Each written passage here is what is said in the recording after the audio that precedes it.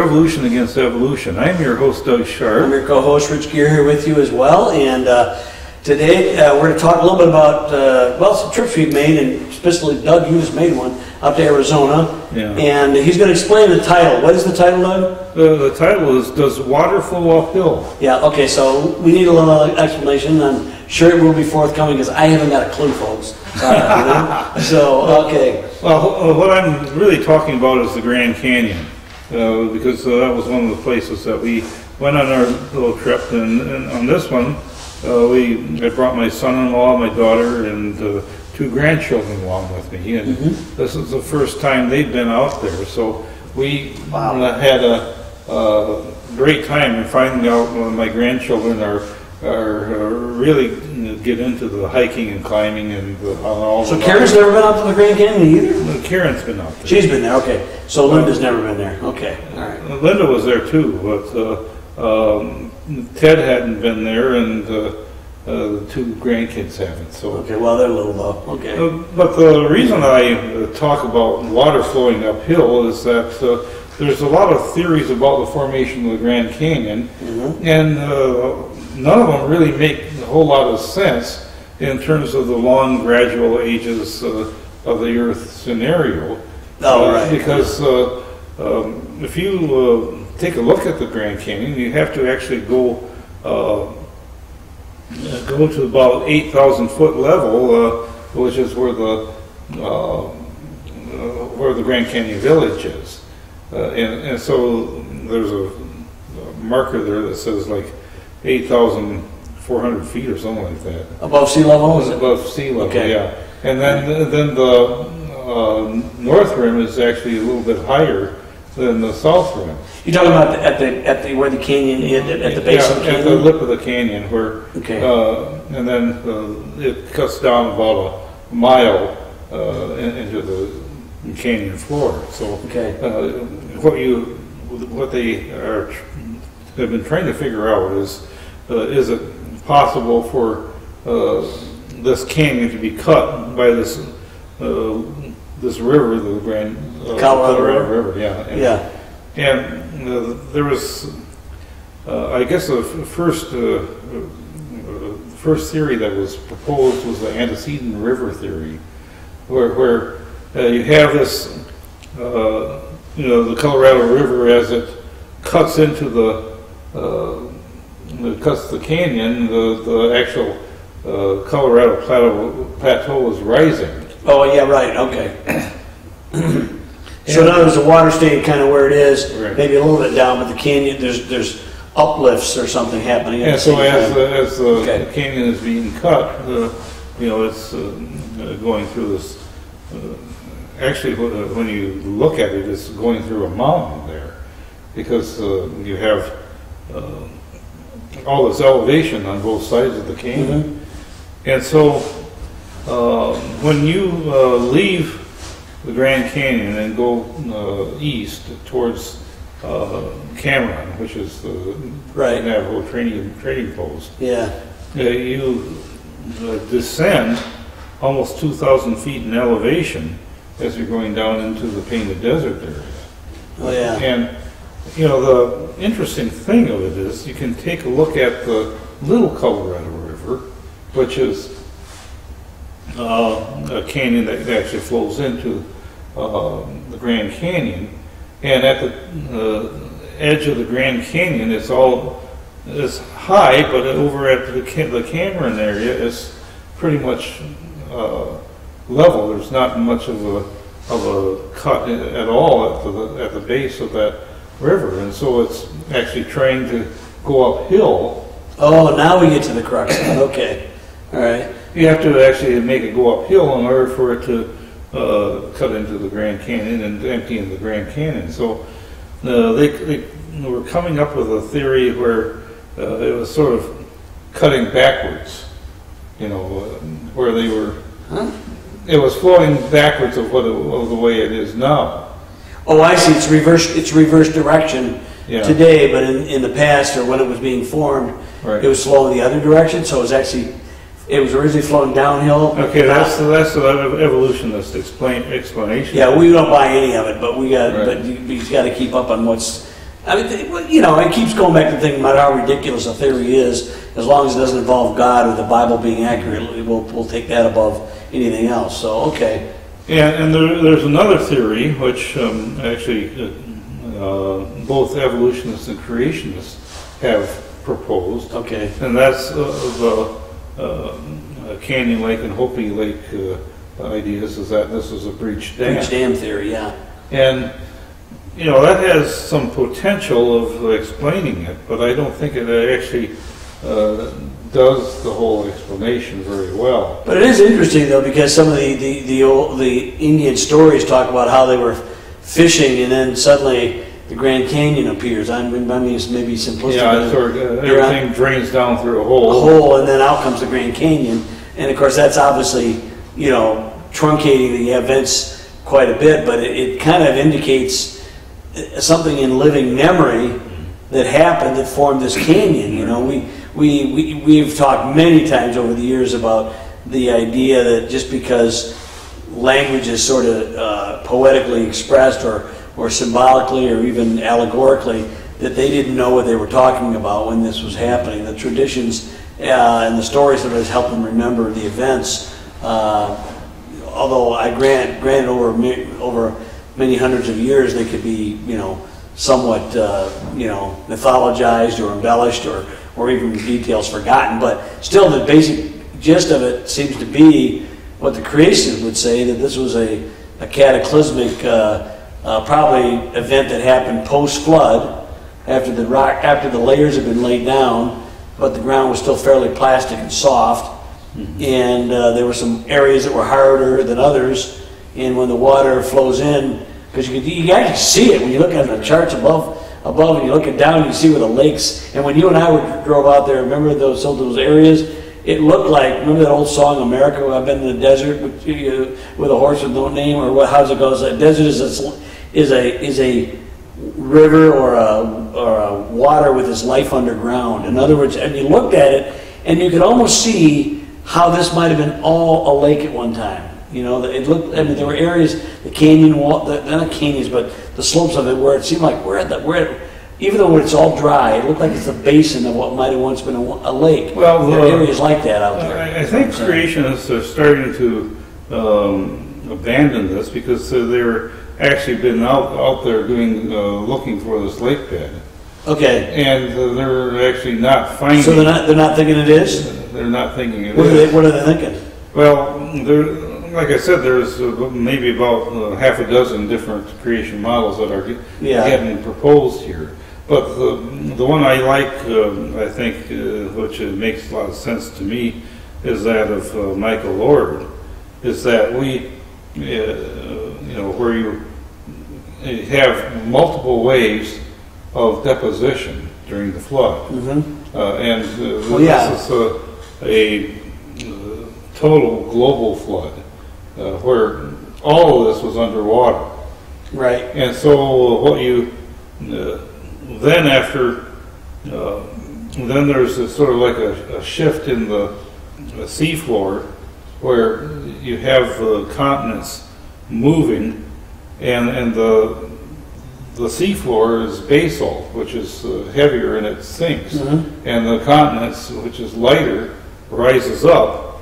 And uh, as the continents moved over uh, towards the, towards the west, uh, there's some buckling and there's some rising of the sediments, and this is why you, you get a lot of the layers. You first of all get uh, various tidal uh, depositions. Yeah, that, that, that's, that's consistent with pretty much all the theories, or Right. most of creationist theories. And yeah, but that was the idea of the breach dam idea, the layers that were there, and then some things got cut through. But you're saying the breach dam is not as viable of a theory? You think this, what's the difference between what Oard is proposing and, and what this is? Because Well, you the still have this- yeah. yeah, the board is proposing that this was more of a uh, phenomenon that, that took place during the flood, during the. But during rather than after? Rather, rather than after. Really? Okay. And so the, uh, and he, he cites this as being, uh, the evidence for this as being uh, in a lot of the other canyons that are in the world today. And,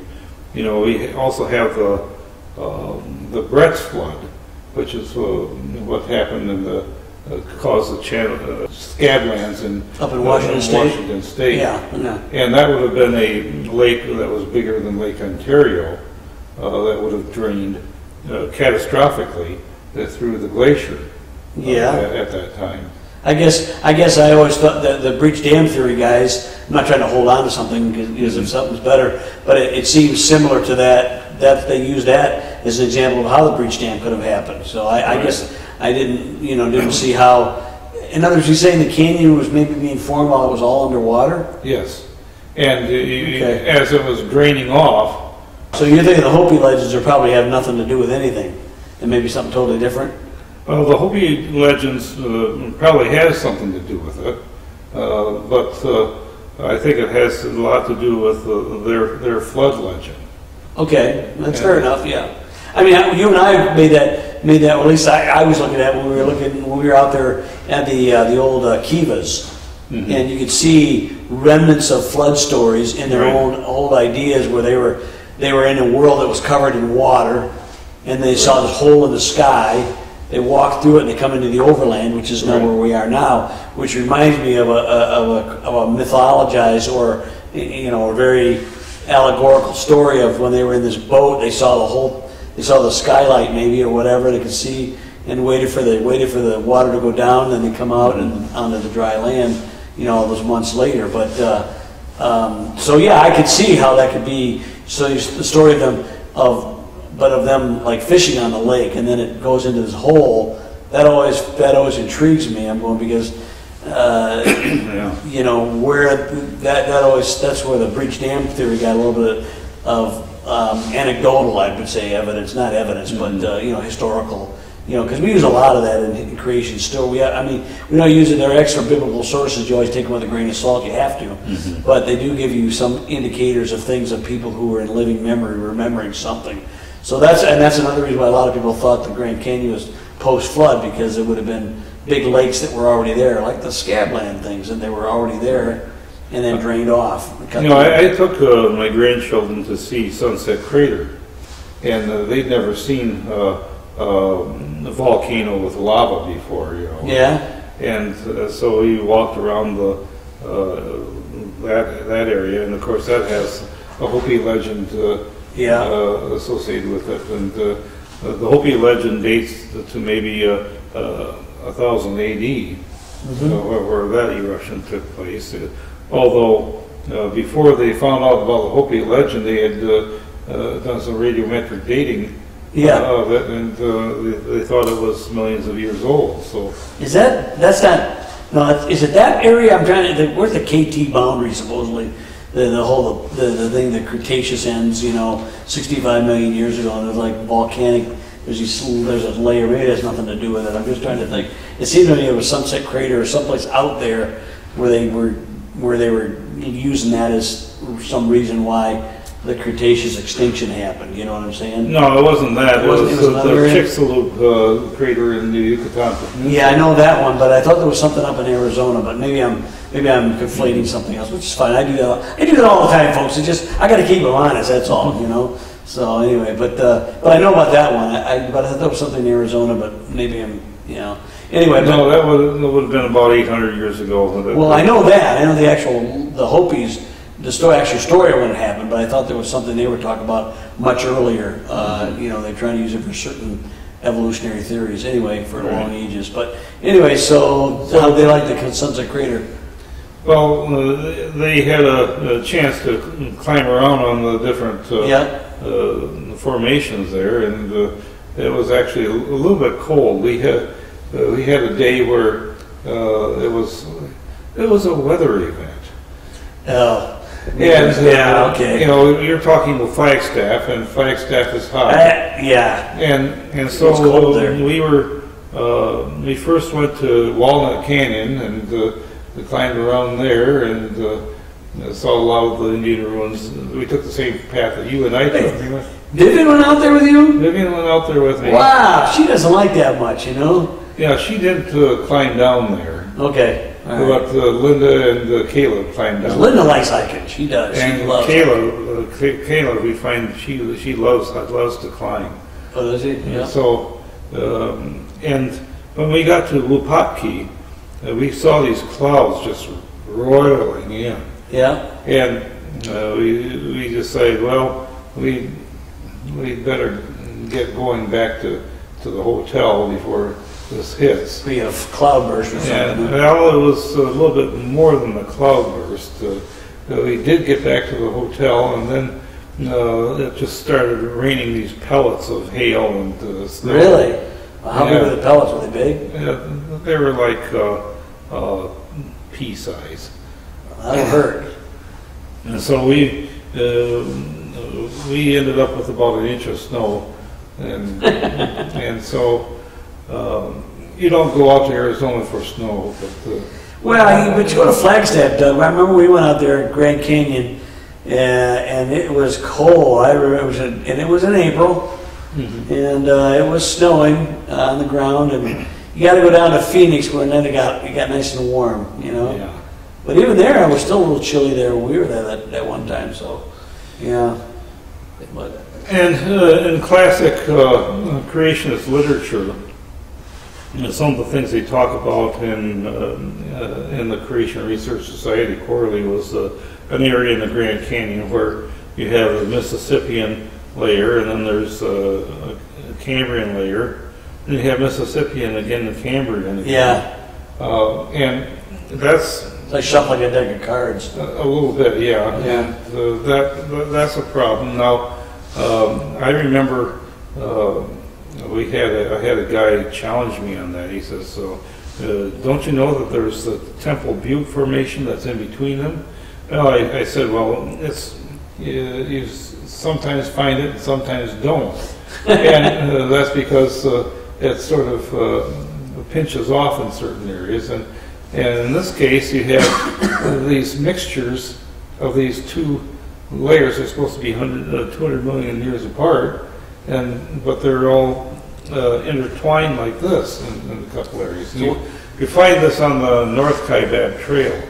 And I found out that when we were there, that the, the North Kaibab Trail has been closed off for some reason. Oh, really? They've, uh, I guess they had a landslide or something where Okay. the- they couldn't uh, maintain the trail, and so um, if you go out there and and you want to hike across the Grand Canyon on the Kaibab Trail, that- that's, that's a problem.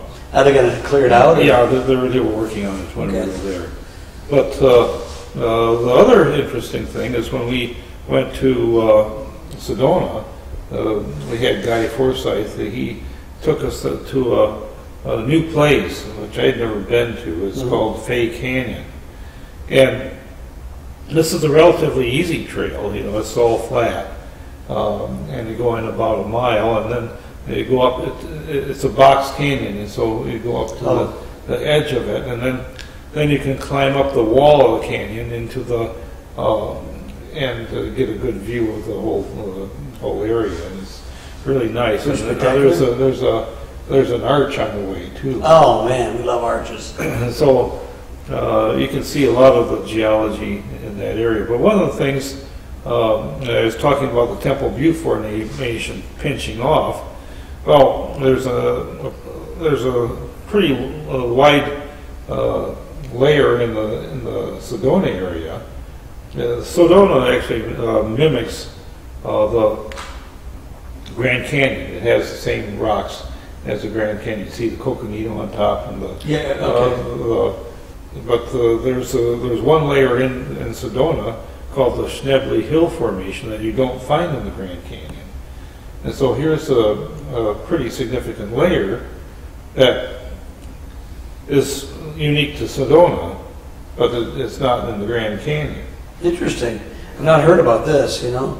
What do they, what do they, what do they call this layer? Well, the Schnebly Hill Formation is uh, um, this layer that appears only in the, in the Sedona area, and it's, uh, I forget what time period that the uh, evolution is assigned to it, but the problem is that uh, here you have the sequence of layers that exist in the Grand Canyon, and now you have to fit this new, new guy. Yeah, a new in. guy in there somewhere, yeah. And I, I don't know if you remember, uh, Guy talking about the Schnebly Hill Road, but, uh, No.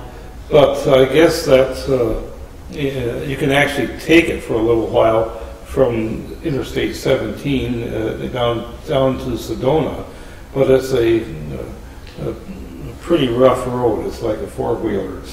Okay, you don't want to go in there. Yeah, it's uh, kind of uh, uh, treacherous to take.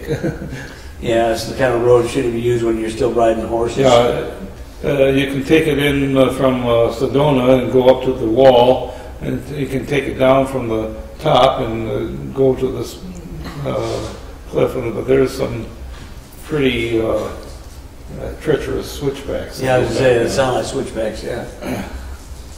But uh, that was what was quite interesting, is that uh, um, the Schnebly Hill Formation, which is in Sedona, isn't found in the Grand Canyon. Well, you know, and that just beg, not to beg the question, but it's the same, we find this in, in quite a few areas where you'll find, uh, you'll have layers of certain rock and then suddenly there's a huge gap or it's flipped upside down. And the story is, you, you know, and it took me a lot of years to, I never really understood this, is that it does, it's not a matter of what kind of rock makes the layer. Right. It's what fossils are found in the Right, rocks. right, yeah. And that's something I never understood. You could have the same kind of rock, and they'll be considered completely different time periods based on one has a triceratops in it, the other has has uh, trilobites in it or something. It's the same kind of rock, maybe. Uh, it could be different rock. It's not not necessarily, but it's all it's all uh, based on what they find in it. So that's what's always confusing is in, like, and sometimes the different rock different rock type is a, considered a different time period as well. But it's very confusing, and I don't think the layperson no, understands that. I never never got that for years. No, always read that, about uh, that stuff, you know. The fossils aren't really always found in this, uh, the sequence that the evolutionists. No, that's what I'm saying, and that's why they call them. They put one, well, the one famous one, one we talked about in Empire Mountain. No, I think it's Permian and Cretan. Permian, that's what. Okay, but anyway, you got hundreds of millions of years in between, and then all these missing missing uh, time periods, and where do they go? And, and in this case, instead of a missing time period, you got an extra one found somewhere else. The same, is it the same underneath, the same top as in the Yeah, yeah. And then you got this, this one that's in Sedona, this, I- what do you, how do you pronounce it? Schnebly Hill. Schnebly Hill. Uh, that sounds just bizarre. How do you get a name like Schnebly Hill? But anyway, Uh, But the, uh, my, the classic example is Glacier National Park with Precambrian on top, Cre- Cretaceous underneath. Um, uh, the Red Rock Canyon and Valley of Fire, 75 miles apart in, Yep. in Las Vegas area, but the, the top layer is Cambrian and then underneath it is Jurassic, Triassic, Permian. And, and to have that same out of order sequence, uh, Yeah, in two different yeah. places, uh, over, uh, uh, the 75 miles 75 miles, apart. yeah. That, that's a, a, a real problem for evolutionists, so, uh, I, I like to collect these, uh, the different. These uh, anomalies, yeah. And, uh, do this fault finding, Yeah, uh, with evolution, you know, you like to layer it on, right? layer it on, yes. Yeah. But, yeah, so, I don't know, Doug, I mean, we, we've, we've visited these kinds of subjects over the years. Um, we always have to give sort of the caveat as to why we deal, deal a lot with things like this geology. And really, the issue has to do with age of the earth, okay? Right, yeah. And age of the earth is a critical issue because we, our show is revolution against evolution. And many people, if you, who, if you, if you just tune in for the first time, are not really familiar with it, um, why do you care about the geology when you're dealing with evolution of the transmutation of one kind into another d- different kind? Uh, but the fact of the matter is, it's never been observed in, in, in any kind of observational scientific thing what, what they proposed in evolution, so they need long periods of time to justify it. And we're just trying to tell you, even those scenarios have many, many and varied problems. Uh, in fact, the young Earth solution is much more viable in so many respects. So many ways, But with, with catastrophism as a big part of that, the solution. The problem, of course, is uh, uh, trying to uh, take what you find in the present and extrapolate into the back past. into past. Yeah. uh, what could have happened to, uh, to, to produce this sort of thing. If, uh, if you take, uh, uh, for example, uh, the Lansing Mall, and you you like go back to, uh, go back 50 years, uh, or 60 years. 60 years, I think now, yeah. And, uh, and try to predict what, what it was like 60 years ago, uh, based upon what you find there today. You really can't do it because the evidence for the Sharp Dairy Farm there is, is gone. Yeah. well, you might maybe you find might find a, a missing iron bolt or something. This is what they try to do. They find little pieces, the fossils or whatever the type of rock, and they think they can put something together, but it usually falls apart like a house of cards when when you have these all these other anomalies that come up. So many things that, that are explained much better with a recent uh, young Earth scenario. You know. And so it's uh, important to understand that uh, um, by examining something in the present, you can't really uh, extrapolate back in the past and figure out what, what it was like. And so um, that's the reason why we uh, don't put much stock in, in we much rather rely on eyewitness accounts, right? an eyewitness account. That's what the biblical is, record uh, claims to be. is, uh, and we believe in the God of the Bible, that uh, what the Bible says uh, makes scientific sense. Yeah, absolutely. We'll see you next time on Revolution Against Evolution.